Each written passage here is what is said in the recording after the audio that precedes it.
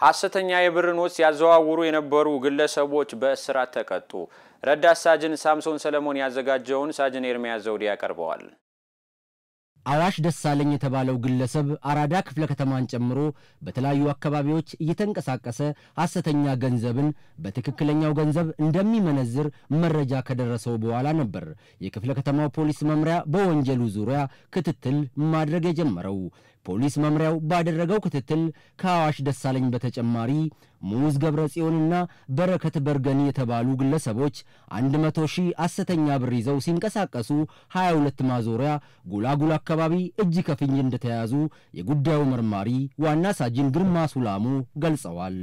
አዋሽ ገንዘቡን ከበረከት ከተቀበለ በኋላ ቀጥታ ደግሞ ሌላ ለሚያቃብለው ወይም ከኛ ጋር ኮሚኒኬት ካረገው መረጃ ሰጪው ጋር ገንዘቡን ለመሸጥና ለማቃበል ብሎ ከተነጋገረ በኋላ ይሄ በረከት በርገን የሚባል 22 ጎላጎል የማያውቅ በመሆኑ ሙዝ ገብረ ጽዮን የሚባል ተጠርጣሪው ጋር ወይም ተከሳሽ ጋር አያይዞ ይሄዳል።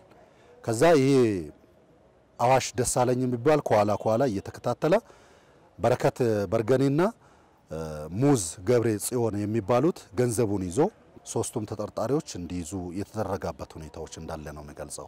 ፖሊስ በግለሰቦቹ ላይ አስፈላጊውን ማስረጃ በማሰባሰብና ምርመራ በማጣራት መዝገቡን ለአቃቢ ሕግ ልኮ ክስ ከተመሰረተባቸው በኋላ ጉዳዩን ሲመለከት የቆየው የፌዴራል የመጀመሪያ ደረጃ ፍርድ ቤት አራዳ ምድብ ወንጀል ችሎት ጥፋተኝነታቸውን በማረጋገጥ በእስራት እንዲቀጡ ውሳኔ ማስተላለፉን መርማሪው ተናግረዋል።